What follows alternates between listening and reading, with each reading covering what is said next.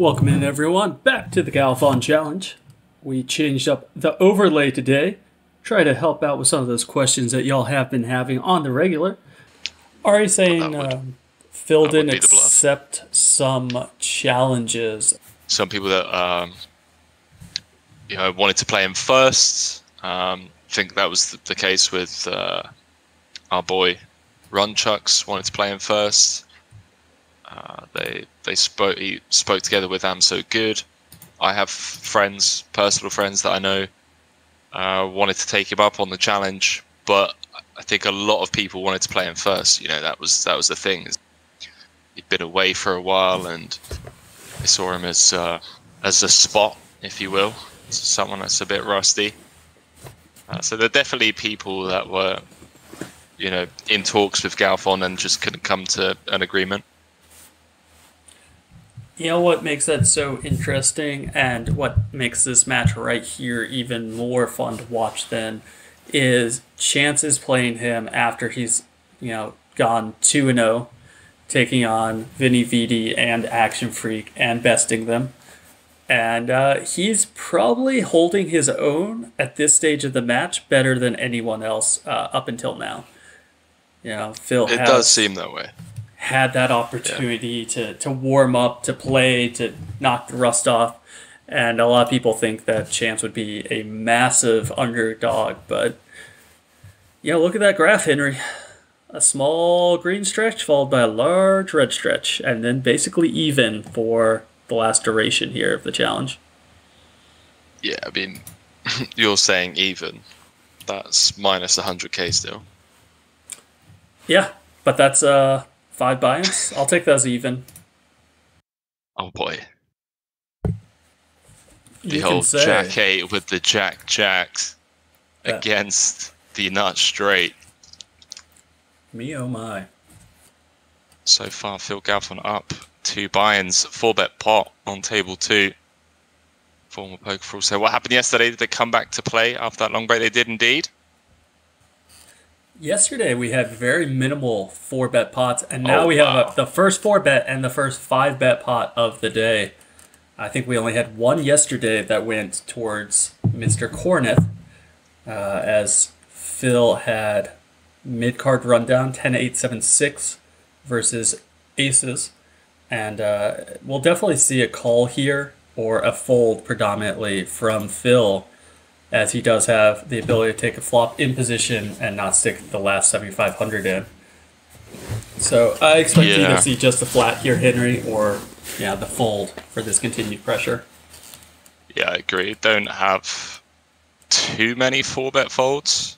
Um, I guess the ones that we can four bet fold are going to be ones that include an ace. Um, some of our like ace king ten nines hands like that are going to be obviously dominated by chances five bet get in range. So let's see. Phil is still up on the day. Uh, I would say chances in for 25,000 over on table two is my my guessing point so that we can establish a baseline going forward. So he's up around 6,000 over there and obviously we'll see at the end of this pot where Phil stands but he's still up 30 to 35,000 on the day. Nice little start to the session. It has been slow, nothing significant, only one real pot to speak of. And uh, yeah, it, it's amazing how it can be so slow, Henry, and yet there's such a nice uptick from one of the players. And how about that for a board texture? Eh? King Jack 10, 10, 9. Four diamonds. Sadly, this is PLO and not No Limit Hold'em. So straight flush just became a lot harder uh, with that nine being removed. Anyone has that uh, queen ball though, we could we could see some bluffing happening from chance. what? Just the, the naked, Naked queen, queen. Be- Be real, Sicko. chance is the one that would do it. Be honest with yourself. It, man. You know no, it. Oh, no. well, we'll find out. He is asking a question. Obviously, that straight flush, that royal flush, is not with Mr. Galfond. Would it actually surprise you to see uh, chance here? Let's give him like Queen of Diamonds, Ten of Spades. Forget the other two cards. He does have the Oh, baby straight, flush. Oh my No word. blocker to it, just the actual. And uh, what a sad reality. Do you see how long it took Phil to call there? With the nut Oh. boat blocking the quads, only losing to three combos of a straight flush. Yeah. Yeah, I'm not surprised. That's a grim spot to be in when you have the board locked and your opponent jams into you. I mean, wow. GG's. So, uh, it's got to be one of the sickest coolers, if not the sickest cooler of this heads up match so far. Nut boat blocking quads against the backdoor straight flush. Well, Samuel Henry Kilbane was born in Northern, Ireland in 19 or sorry, 1875 and came to Cleveland in 1897. So I don't know who you're representing, Henry. Oh yeah, we got uh, got a shit ton of family in uh, in Cleveland. I, I Really? would say there's there's more Kilbanes in Cleveland than there are in Ireland and the UK. Man, Yeah, there's a lot. There's a lot of them. Yeah, if you just do a Google search on uh, Henry Kilbane, there's a whole slew of them out there. Poker Player Podcast, Stitcher.com, Podcast.apple, Poker Fuse, Run Shucks. So uh, his story is out there for those of you unfamiliar with the sweet and sultry European voice that graces us from time to time. Yeah, I wonder how many podcasts he did though. Who's that? Doesn't Other. matter. Other Henry Kilbane? The one that you mentioned. So Phil, check. Uh, sorry, three bet turn. Oh, sorry, did three bet turn. He Raise raised turn, turn. 7200. Chance playing its check. This straight completing river card.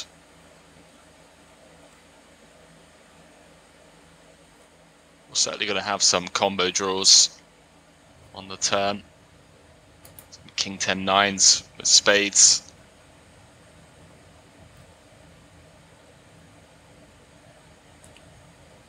definitely going to tank here, thinking it through. And let's not overshadow the fact, once again, that we have another very significant pot developing on table two, as Phil does shove the river here. Says run it, boys.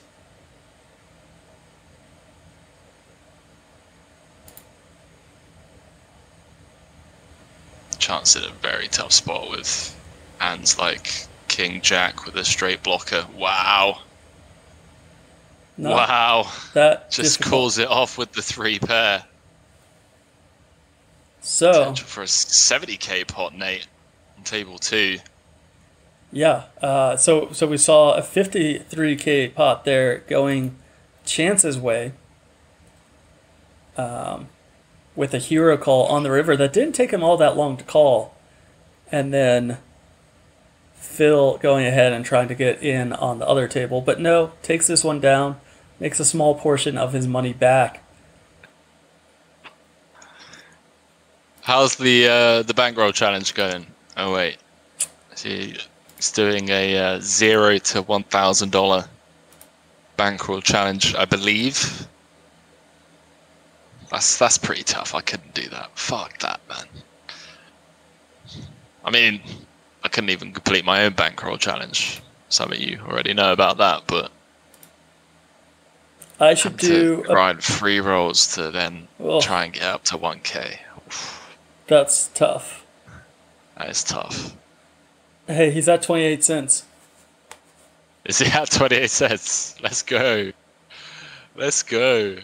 What's the uh, what's the smallest cash buy-in tournament? Ooh. Let me, I'll check. It's check. got to with be like one dollar, right? Are you are you allowed to grind sit and goes? I feel like that. Okay, okay, let's see. We have uh, several free ones. No, you have a 10 cent, two twenty five cent tournament. So you have three sub $1 tournaments. And then Okay. you have a plethora of $1 uh, tournaments, $3 tournaments, $5 tournaments. So once you can you can build up to enough to take some stabs at it. I mean, grinder, if you can get a dollar in your account, you can play the super satellite into a ten dollar main event satellite, which up. and then that one, that ten dollar one, gets you into a two hundred and fifteen dollar one, and that one should get you into the main event. That would be the sickest story ever. That would be just phenomenal. Doing a zero to one k bankroll challenge, get into the main and then cash the main. Oh, Oh, that's that'd be ridiculous. I don't by no says Phil also go with a button limping strategy. Uh, not that we've seen so far from from Phil, as far as I'm aware. Jansen here with a check raise on river, obviously representing um, some boats, or maybe just representing the nut flush. How do you like them apples, Henry? Yeah, I mean, nut flush, no pair blocker, no house blocker. Still managing to get paid. Massive pot uh, heading his way there.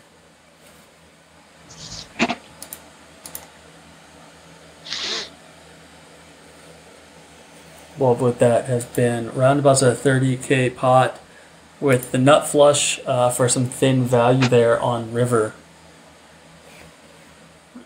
so, if I remember correctly, fills in for roughly 35,000 on that table, which means he's down 7k. And we do have a large pot that's developed here over on um, table one. We'll have to see how that one plays out before we're able to give off any confidence of who is up or down on this challenge.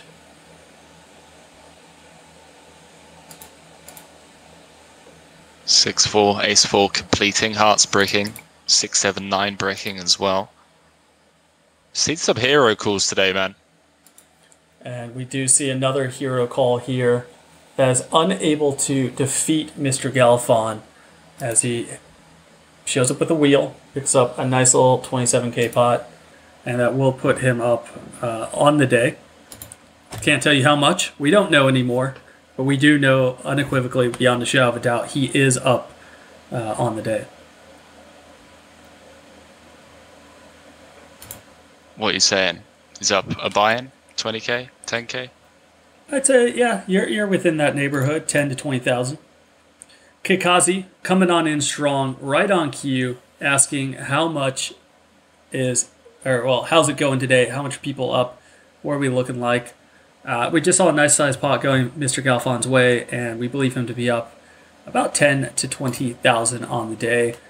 Uh, he had momentum early on in this match, and it's been lacking as of late, wherein Chance Kornuth has made a nice comeback.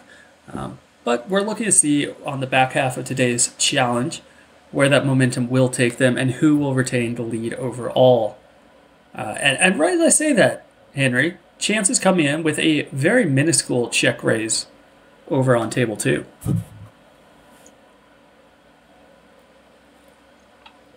I love these little clicks, man.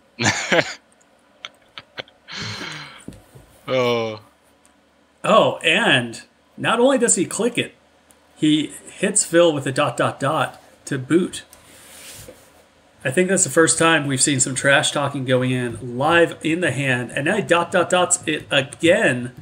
And uh, on that second trash talk, we're going to see Phil concede the pot. They're they're going back and forth. Welcome on back, everyone, to the Galfond Challenge. That's right, I'm your host today, Mr. Nathan Gamble, two-time bracelet wearer, surf bum for life, joined by our fellow resident high-stakes professional multi-table tournament leader, Henry Kilbane. How is everyone doing out there? How are you doing, Henry? I have no idea what that introduction was, but I'll take it. I don't. I think you just called me about 15 things that I'm certainly. But I appreciate the vote and confidence. Hey, we all need a little confidence here in 2020. Uh, you know. And, and you know. Uh, let me just jump straight into the chat. Pappy shaking his head at me. I think you enjoyed it, Pappy. Kyberry saying, why can't we have a card cam where they feed us their cards, we put it on delay. Uh, you know, these two are playing for kind of significant stakes. Not only do they have whatever they win or lose uh, in the challenge, they also have a quarter million on this line for, for Mr. Kornuth and uh, a smooth millie ball for Phil Galfond. So, as much as they may like us, as much as they may respect us, if they're not willing to share their cards, uh, I, I can accept that. I can understand. And I know it doesn't make for the best viewing experience, but if someone offered me a hundred thousand dollars to give one of those guys the other person's cards, I would of course say no, but I can't comment on any of my other commentators. So what I can't commentate on is Phil shipping it all in on the river here, trying to steal not his whole cards from Chance, but all of his stack. What do you think about them apples, Henry? Yeah, Chance in with the well, two thirds, sixty percent on the river, coming back over the top for the full Lottie. See how Chance proceeds deep in the tank. No snap call, obviously good news. The Galfond fans out there.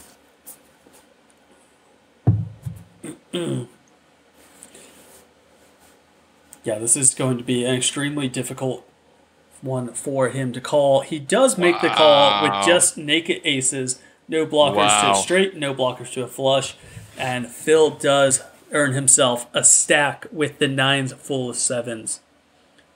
I'll tell you what else I support potential for a 60k pot to just uh, finish things off. Finish him. Finish him man, if Chance five balls this, this is the time when he's most likely to. Phil has four bet folded on two occasions today. Oh god. 150 bigs effective. Five bets going on in there, Henry. As I said, this is the time that's most likely for Chance to get the money in, it seems wow. uh, at Days Inn. Phil flat calls. Oh boy. That's a flop texture I believe the rest of the money can get in on. Oh boy. What do you think, Henry? You think it's going in? You think we're seeing the 55er on the day? Oh, you, just, you just hate it when you've got naked aces with the ace of spades. I, I love how he like takes it down. He's really considering it, and, and it's like you know the money's going in. Chance on his side, the money's always going in, right? and Phil calling. Oh, oh my no, word. no, no way. All right, ladies and gentlemen, if you want to see some blood, here it is. It does not get bloodier than that. The gutter ball on the river for Phil. Ow. I can't believe what I just saw. That is the sickest. Oh. Of. I mean, we, we already had. No- that was sicker. I think that's the sickest pot that we've witnessed so far in the entire match. Maybe it was a pretty grim one. Chance five balling the ace, king, king, jack, absolutely fine. Phil flopping a gut shot, backdoor hearts, and just drilling it against Chance Kornuth's top set. If this goes pot, cool, and Chance loses like a 25k, 30k pot. Game set match. Maybe. Let's just call it what it is 26,994 pot. Well, let's just call it what it is because it did go pot and it did go call and it did wow. go Phil Galfond's way. Everything you just said came to fruition, Henry. Except for the snap sit out. Rough old day in the office for Chance Kornuth. There it is. There it is. The dot dot dots. Uh, An extra 14k going Phil's way right again there, and uh, I think that's a big winning day for Phil Galfond. That's a that's a six buying day right there, mate. Uh, easily. And and Pappy did ask, are we up 100k yet? I think the answer is unequivocally yes, we are. So. Oh yeah. Beyond that's a shadow. 100k light switch. Of a doubt. Well, let's put light switch. the light switch on this challenge right here for today, Henry. We're going to work behind the scenes to get you flown out to Vegas. Appreciate everyone being here. Appreciate y'all putting up with our shenanigans. And uh, hopefully, we'll be commentating together live before too much longer. So, thank you everyone for tuning in for this massive, massive day for Phil Galfond. And we'll be back tomorrow to bring you a Friday closeout on the week for myself and Mr. Henry Kilbane. Cheers, everyone. Peace.